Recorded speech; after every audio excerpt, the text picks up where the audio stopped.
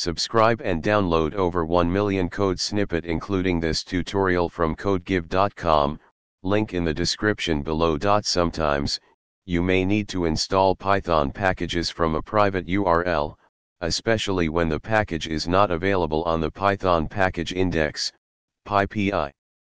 This tutorial will guide you through the process of using pip to install packages from a private URL. Python and pip ensure that you have Python installed on your system along with the pip package manager. You can download Python from python.org.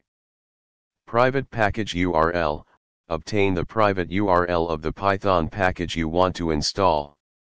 It's a good practice to create a virtual environment to isolate your project's dependencies. Open a terminal and run the following commands. Activate the virtual environment.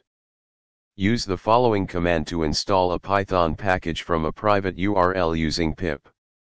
Replace private underscore package underscore URL with the actual URL of the private Python package.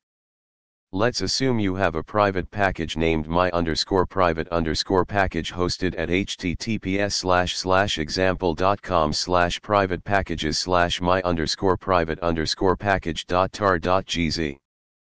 To install it, run. If your private package requires authentication, you might need to include credentials in the URL or use other authentication methods. For example, if your private package is hosted on a Git repository, you can use the following command. You've successfully learned how to install Python packages from a private URL using pip. This can be helpful when working with proprietary or custom packages that are not publicly available on PyPI. Remember to manage your dependencies and use virtual environments to keep your projects isolated and organized.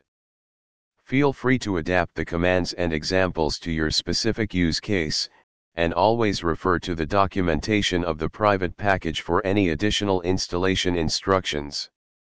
ChatGPT